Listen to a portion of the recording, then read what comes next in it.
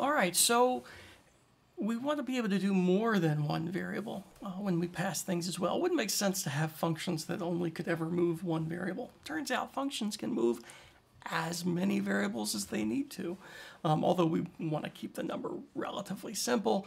Um, you know, 40 or 50 could get a little cumbersome, uh, but certainly 1, 2, 3, 5, 10, um, not completely out of the range. So here we have a function in this case, or a program in this case, we're going to create a program that asks our first and last name, then prints it out. Um, and we can see that we've been given some information already. We can see that uh, we've got our def main, our user input, and our print names function. So we can take a pretty good guess of what they're supposed to do. We can even see a little work's been done for us here. So um, in the interest of keeping things simple, let's go ahead and copy and paste just a little bit of data. As you might imagine in the user input function, we're just asking for two different values, right? Uh, we've done this a million times. So what's your first name? What's your last name?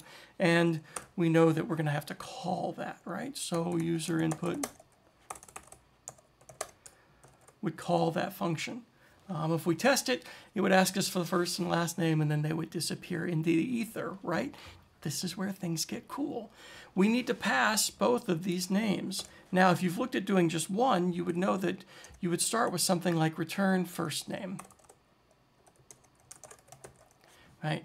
And you would put that up here, you define it as, uh, you know,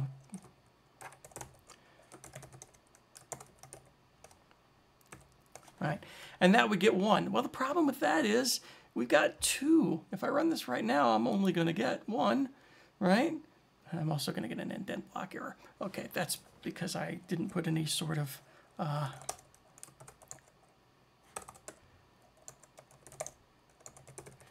any sort of comment down here to make sure that it understood there was something going on. There are other tricks, but that's that's the best one.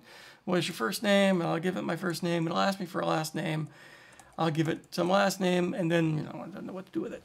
So the problem here is that I've got two values. So as you might imagine, I need to send both of them back. Now, user input gets called. It asks for first name, stores it in the variable called first name. Asks for last name, stores it in the variable called last name. Then it returns the first name and the last name. Now, right now, if it tries to return these two values, it's going to assign the first value, and then it's not going to know what to do. Right? Let me show you that error because everybody gets this error. And uh, this way you'll remember what it looks like. Right? Okay. No error. Sorry, my bad. That's because it's a long story. But so trying to send this first one and then only getting one back, if I were to print both of these, it would be a problem, right? If I print teacher first name, because I really want you to see the kind of challenges you run into here. And BBB, right? I get this weird thing back. Um, you're going to learn later that that's something very different, all right? And that's kind of a problem.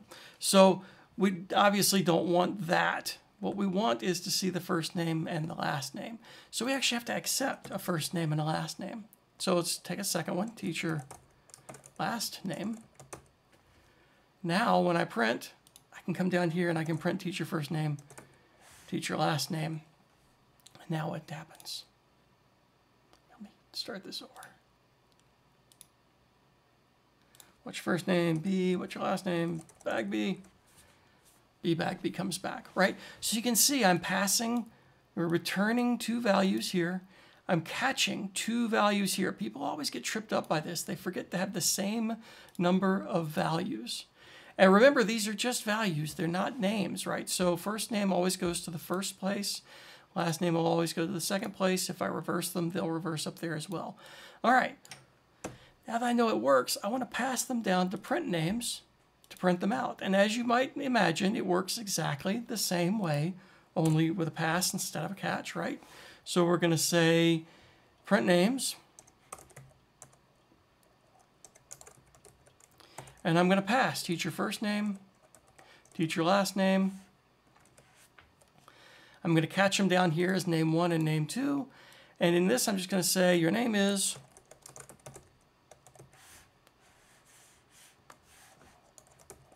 name one, name two.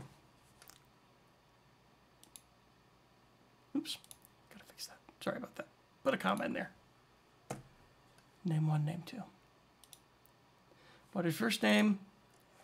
B. Last name, Bagby.